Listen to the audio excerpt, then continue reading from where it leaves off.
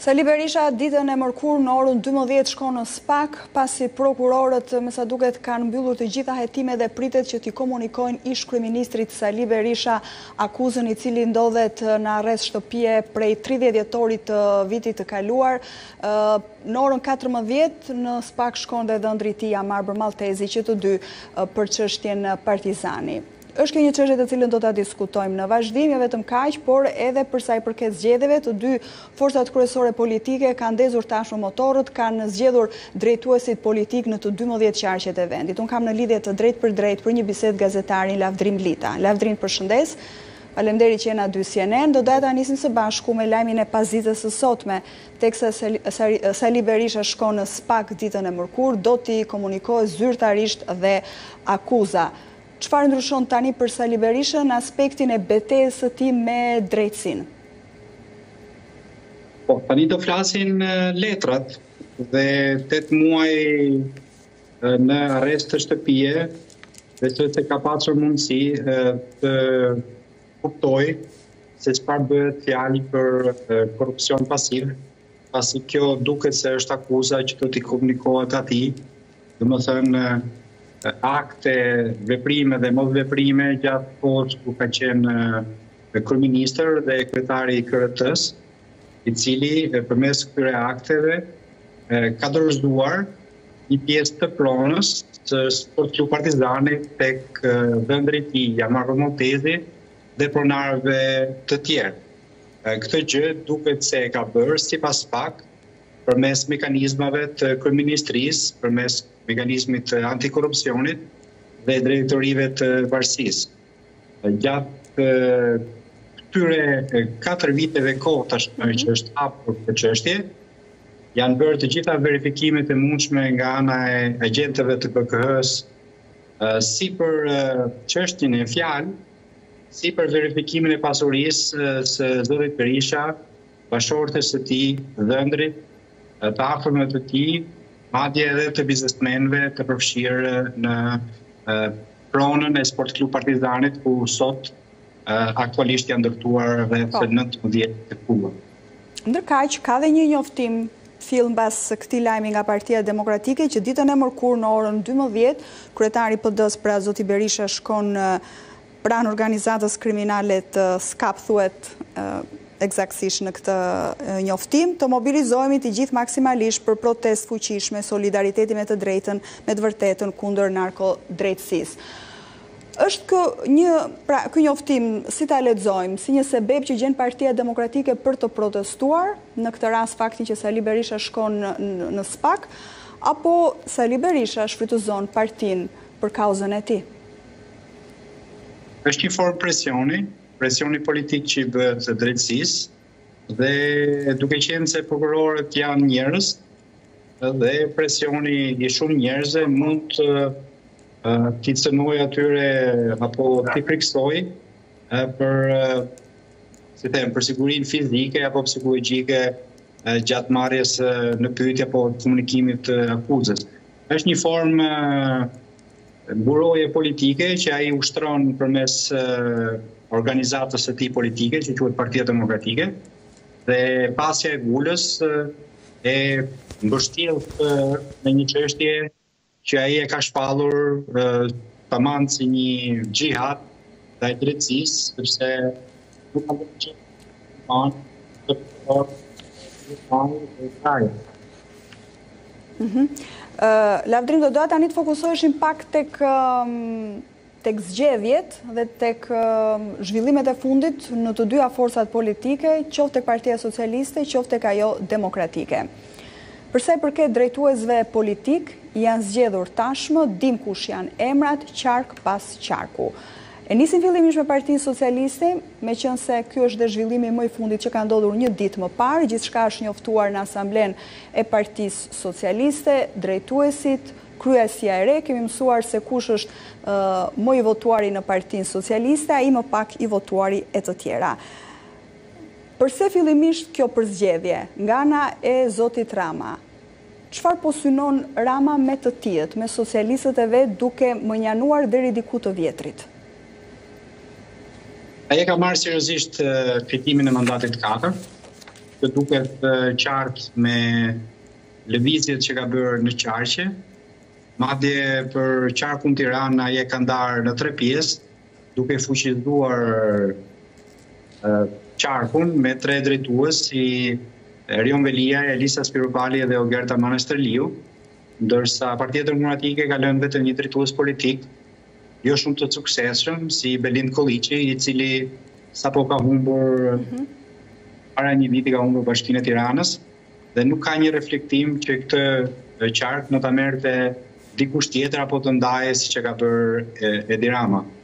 Fakti që Edi Rama është shumë i përqendruar tek drejtuesi politik duke forcuar kryetarë bashkish si ai i Shkodrës, Benet Beci, apo Ervin Demo i qarkut të Beratit, do të thotë që do përdoret e gjithë infrastruktura lokale e bashkive për të sjellë një rezultat sa më të mirë. Pra nuk bëhet fjalë më për 71, as për 85, siç ka deklaruar në mbledhjen informale të Dajtit.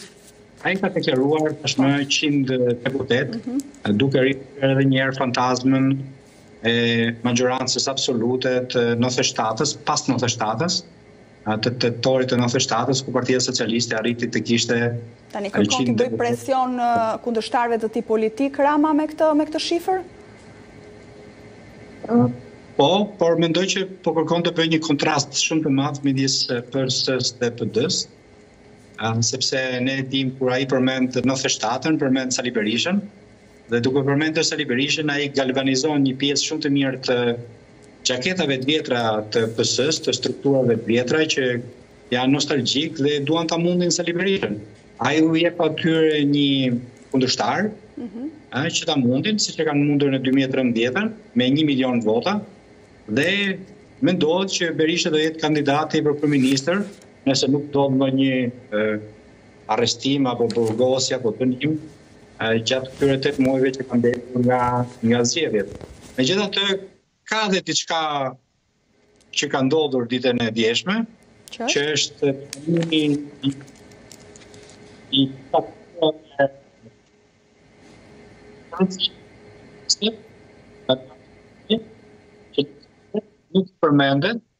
Por ai ishte drejtues politik në Qarkun Elbasan.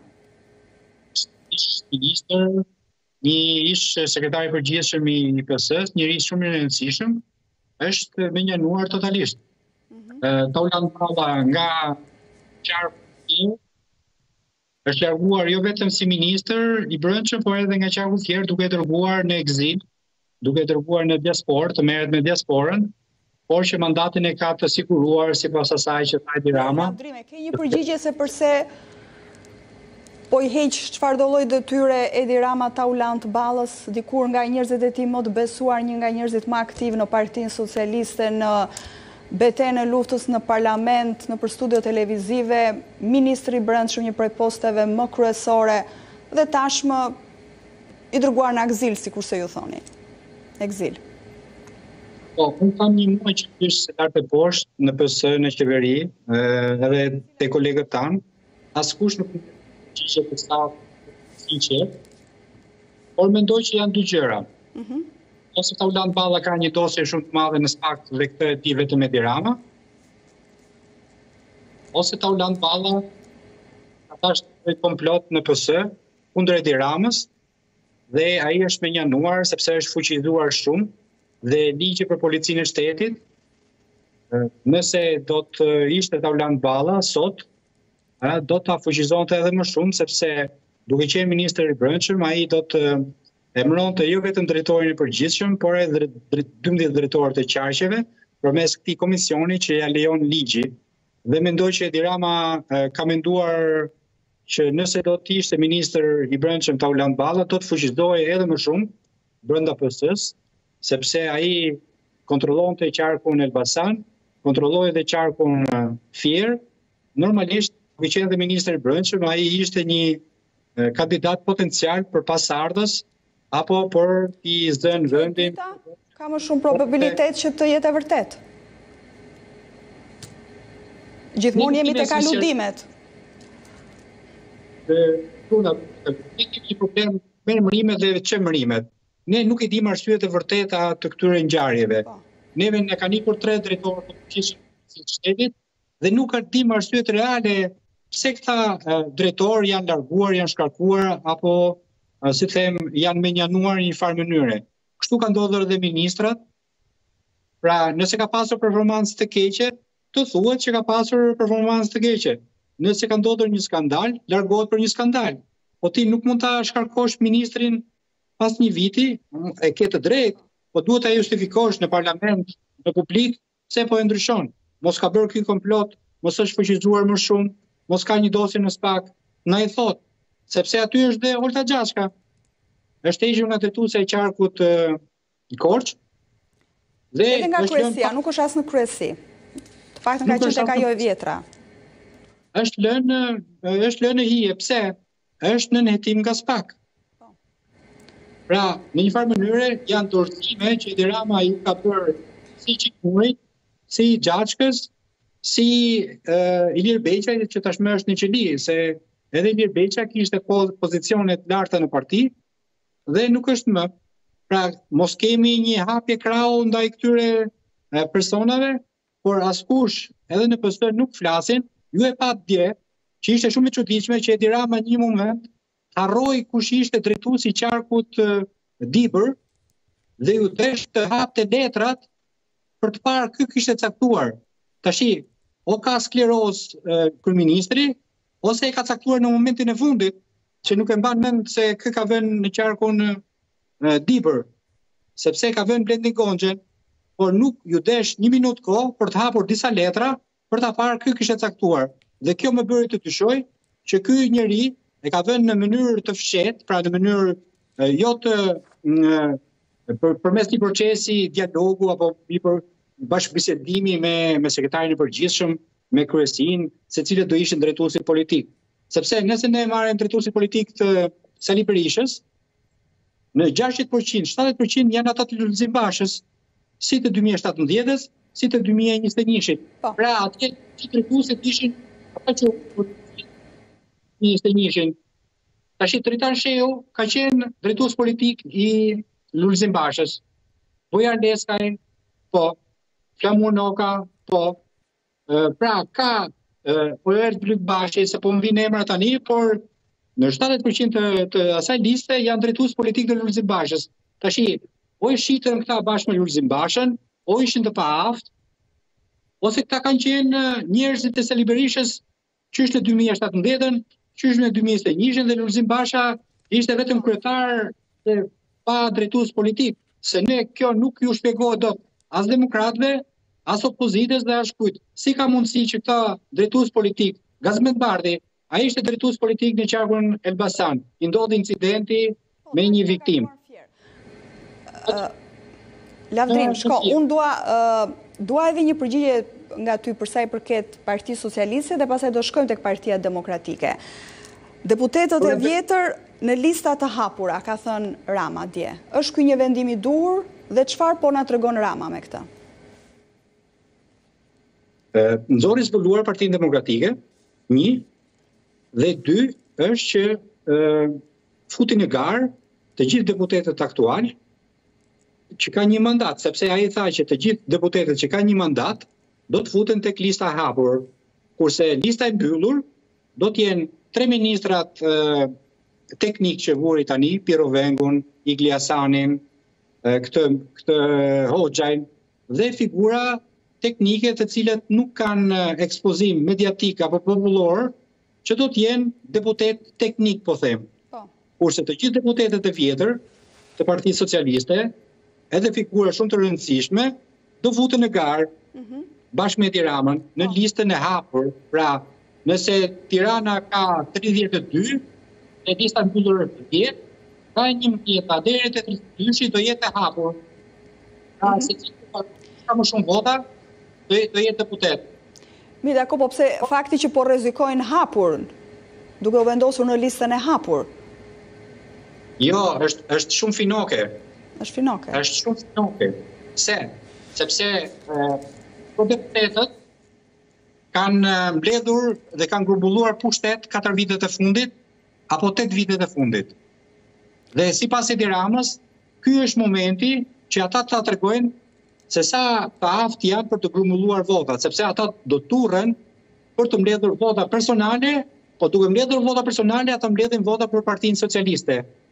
Më kupton? E kuptoj, po thënë kështu, Edi Rama kërkon të aplikojë deri diku meritokracinë, pra kush është i aftë, kush e meriton, bujrum le të vijë në parlament, është finoke edhe për një arsye tjetër, mm. sepse kjo tezë ishte e partive të reja, Adriatik Lapaj, po. Endri Shabani, Partia Demokratike Euroatlantike, apo më the të thashë, kanë disa muaj që thonë lista të hapura, po. lista të hapura, lista të hapura, dhe kjo ishte pëlqyer nga qytetarët, sepse më në fund qytetarët do kishin mundësi të të çonin në parlament. Edi Rama deri diku këtë po kërkon të aplikojë, që ja kjo është lista e hapur, ne Ne të vjetrit po, po vendosemi në listën e hapur. Çka ligjërisht ta bënte të mbyllur, e bëri të mbyllur.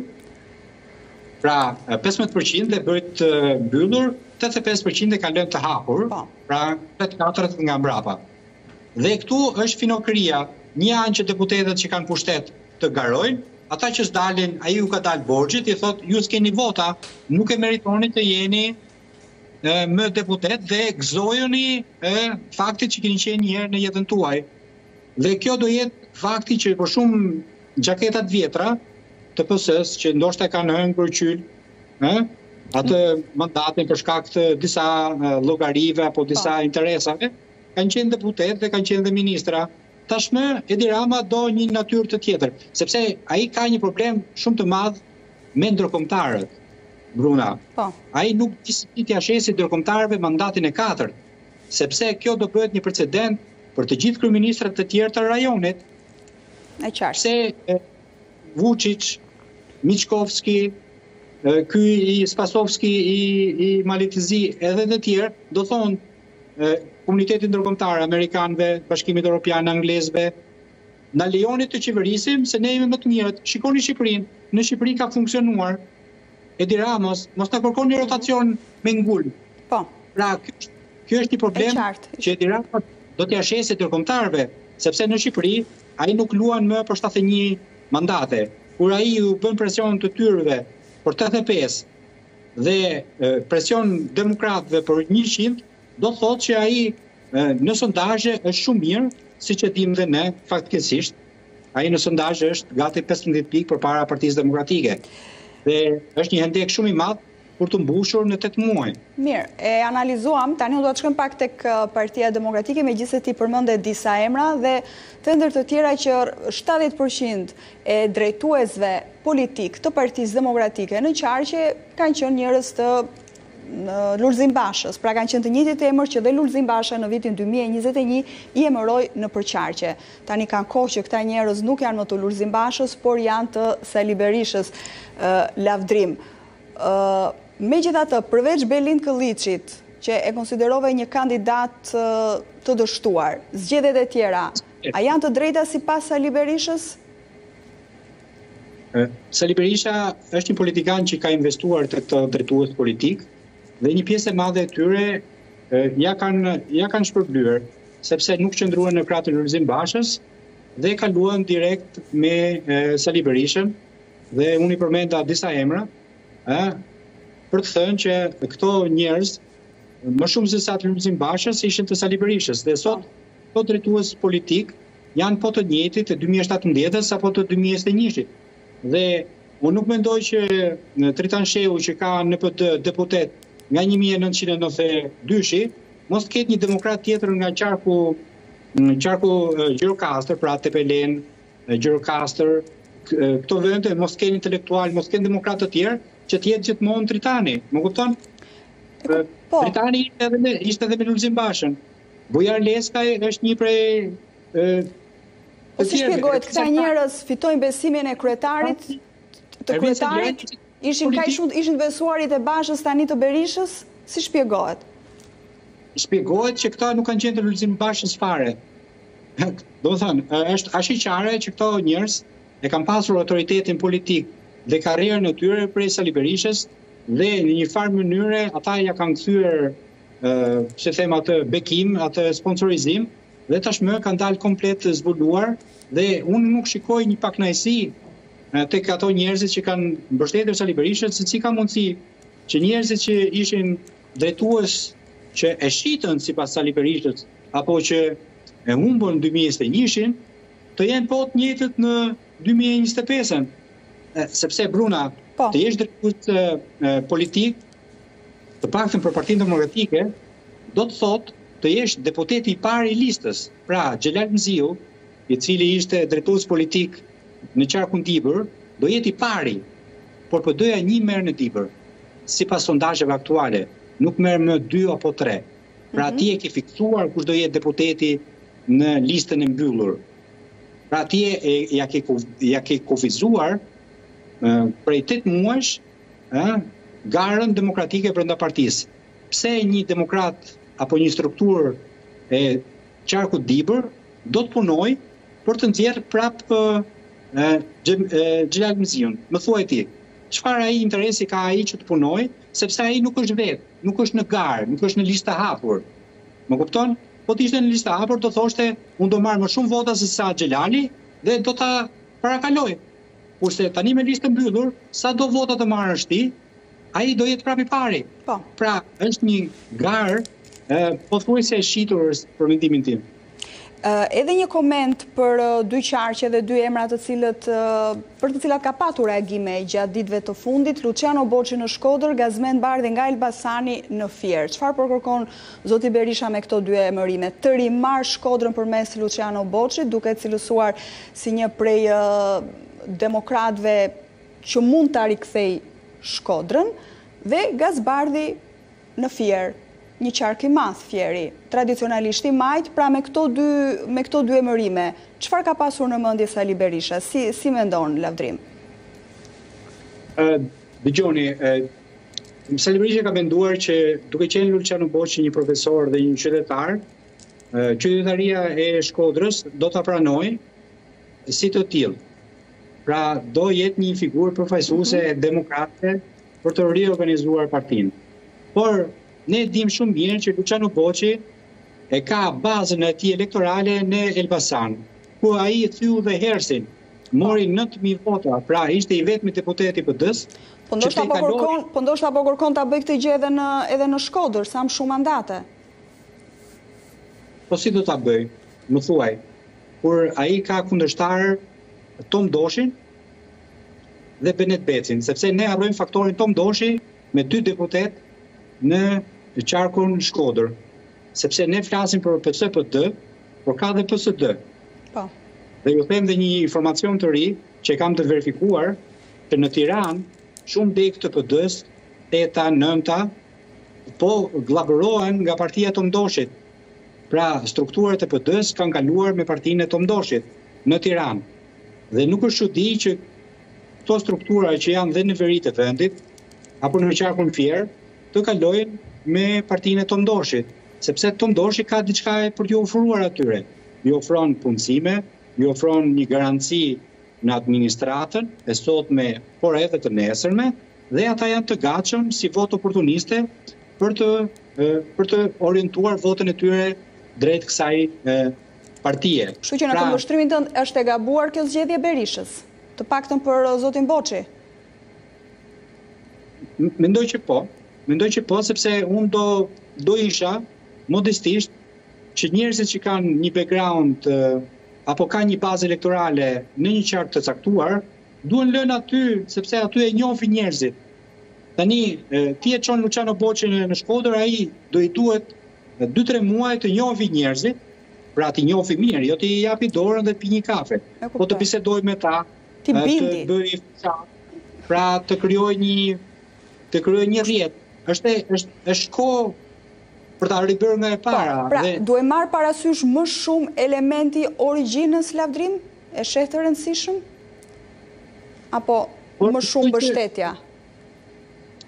Mendoj që ka funksionuar, sepse ka funksionuar në të kaluarën, dhe Doda, nuk është se nuk e njef Shkodrën, por ata nuk kanë reflektuar nga humbja e thellë që patën me Benet Becin, dhe kur ti ke një kryetar bashkie si Beci, ke infrastrukturën e PS-së, ke dhe Tom Doshin, ti duhet të çosh një politikan shumë agresiv, po. që Boçi nuk është. E kuptoj. Për të patur të paktën politikat. Shumë shkurt edhe për Gaz Bardhin në Fier, se e kemi pak kohën të limituar. Po, do të them vetëm një fjalë. Do të në Fier padrejtësia më e madhe i është bërë Luan Baçit. E them sinqerisht. E lidh këtë dhe me reagimin e zotit Baçi? Se e ka shprehur pakënaqësinë. Sepse njerëzit harrojnë, por Lavdrimi nuk harron. Domethënë? Luan Baçi ka qenë, ka qenë kryetari i parë i një dege të PD-s, që i ka dalë kundër Lulzim Bashës dhe ka mbështetur haptazi Sali Berishën. Po, është i pari që ka po.